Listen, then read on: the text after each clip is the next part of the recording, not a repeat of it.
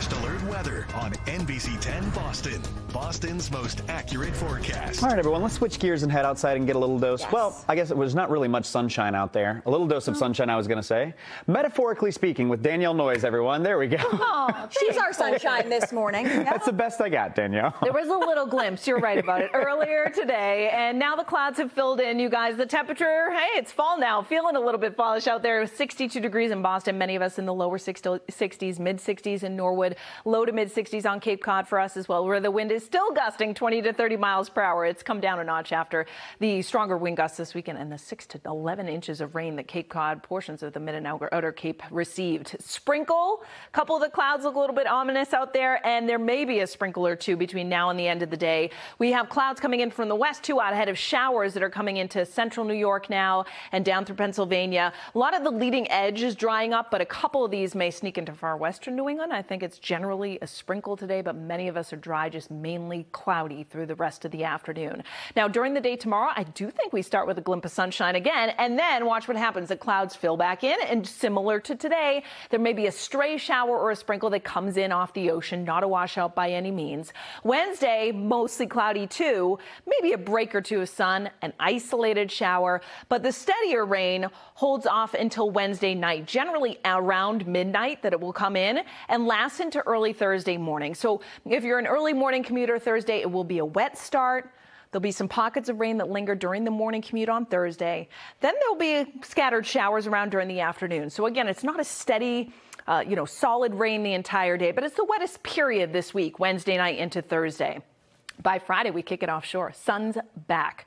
Beautiful start to the day, although there's still some upper level energy. So look what happens. We build some clouds in later on Friday, and there may be a shower or two. We'll keep you posted on the timing of that. Again, it would be a brief window that that comes in. And I know it's only a Monday, but we're going to take you out through the weekend. Look at this Saturday, sunshine. Sunday, sunshine. It looks dry both days right now. There should still be more of a northerly wind, so it'll keep us a little bit on the cooler side, but pretty seasonable for the last full weekend of September.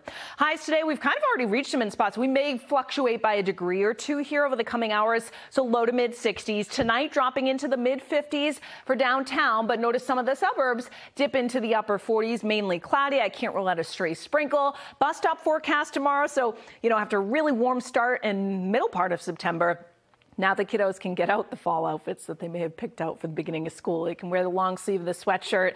Cool start, breaks of sun, but mainly cloudy with temperatures running in the mid 60s as you head into the bus ride home tomorrow. And that's the case in a lot of spots. Sure, break or two of sun that does come out during the afternoon, but overall the clouds win out, and that's the case on Wednesday too. Highs topping out in the mid to upper 60s. Meanwhile, I want to update you on the tropics potential tropical cyclone 9, 40 mile per hour gusts. This is sitting off of uh, Honduras right now, and will continue to show signs of organization and kind of split the western tip of Cuba and the Yucatan Peninsula, but strengthen. So by the time we get to Wednesday evening, look at that.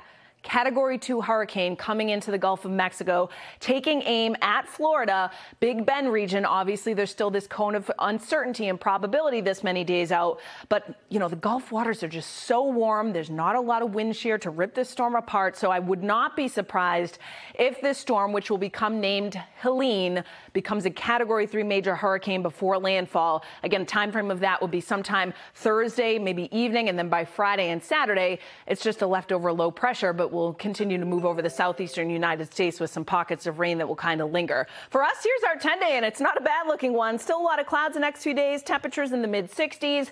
Rain Thursday, tapers to showers, and then look at that Colton and Melody Friday, Saturday, Sunday, Monday. I don't want to jinx it, but up and around 70 with sunshine. It's looking good. Good looking weekend ahead, Danielle. Thanks so much.